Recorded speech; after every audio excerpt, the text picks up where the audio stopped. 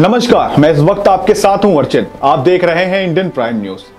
मिली जानकारी के अनुसार, आज बजरंग दल उन्नाव के द्वारा उत्तर प्रदेश सरकार की महत्वपूर्ण योजना, गौ संरक्षण की जमीनी हकीकत जानने के लिए ग्राम थाना विकास खंड सिकंदरपुर सरोसी स्थित गौशाला का औचक निरीक्षण बजरंग दल द्वारा किया गया है।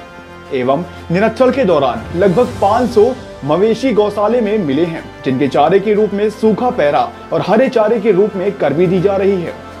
गौशाला में जानवरों का चारा पानी करने वाले मजदूरों ने बताया कि तीन महीने से उनकी तनख्वाह नहीं आ रही है और तो और 10 से 12 दिन पूर्व सीडीओ के द्वारा यह आश्वासन भी दिया गया था कि जल्द से जल्द भुगतान करवा दिया जाएगा, पर अभी तक कोई भी पैसा नहीं मिला है।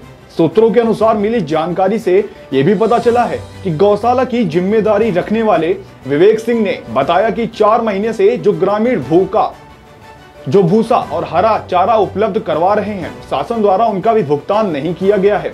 यदि यही स्थिति रही तो जल्द ही गौशाले में भूसा और हरे चारे का संकट उत्पन्न हो सकता है। निरीक्षण करने गए बजरंग दल के विभाग संयोजक रघुवंश मणि त्रिवेदी ने कहा कि गौशाला की जो समस्याएँ सुनने में आ रही हैं वो सही पाई गई हैं। शासन के द्वारा मजदूरों और चारा उपलब्ध करवाने वाले ठेकेदारों का जल्द ही जिलाधिकारी से मिलकर भुगतान भी करवाया जाएगा। क्या नाम है आपका? संतोष। आज जो गौशाला में आपको क्या समस्या आ रही है? भैया समस्या है कि पैसा की है बल लेबर वाली। लेबर का पैसा नहीं मिला तीन तीन महीना से। और?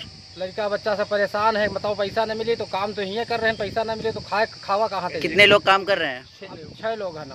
कितने महीने से पेमेंट नहीं मिला? तीन महीना तो। आपने अभी तक किसी से शिकायत की? हाँ साहब से शिकायत की ना क्या दिया उन्होंने आश्वासन? तो काला एक हफ़्ता के अंदर अंदर मिल जाई अभी तक नहीं हुआ? अभी तक कुछ कब आए थे सीडीओ साहब? अरे हो गए दस दस लोग दस दिन हो गए। हाँ दस। और यहाँ पे जो साफ़ सफ़ाई का है चारा वारा है, ये कैसे क्या?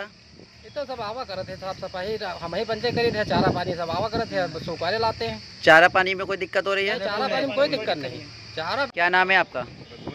रघुवंश विभाग संयोजक बजरंग दल बजरंग दल की ओर से यहाँ पे आपने निरीक्षण किया है क्या पाया गया क्या कमी आपको मिली यहाँ पे? बजरंग दल को लगातार ऐसी सूचना मिल रही थी कि गौशाला में कई सारी समस्याएँ आ रही और हमको संगठन से ऊपर से आदेश की मिला था कि जाकर के औचक निरीक्षण करिए। इस संदर्भ में हम और आज हमारे पदाधिकारी जिला गौरक्षा प्रमुख श्याम बहादुर दोनों लोग हम लोग आए यहाँ पर।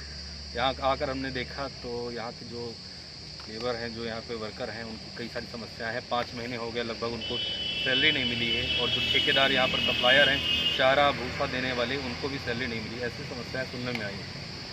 तो ये सी साहब के पास बोल रहे हैं इन्होंने जो भी यहाँ पे काम कर रहे हैं उन्होंने कहा सी साहब ने दस दिन पहले आए थे उसके बाद में आश्वासन दिया देने के लिए अभी तक नहीं हुआ। तो उसमें आप क्या बिल्कुल बिल्कुल ये घटना आज जानकारी में मेरे आई है। निश्चित ही कल जाकर के सीधू साहब से इस मामले में वार्तालाप करेंगे और निश्चित ही जल्द से जल्द इनका जो है भुगतान कराने की पूरी संभव कोशिश में आपका? भैया विवेक सिंह। गौशाला में क्या समस्या आ रही है आपको? समस्या आ रही है कि ऊपर से पेमेंट नहीं हो पा रहा है व्यापारियों का।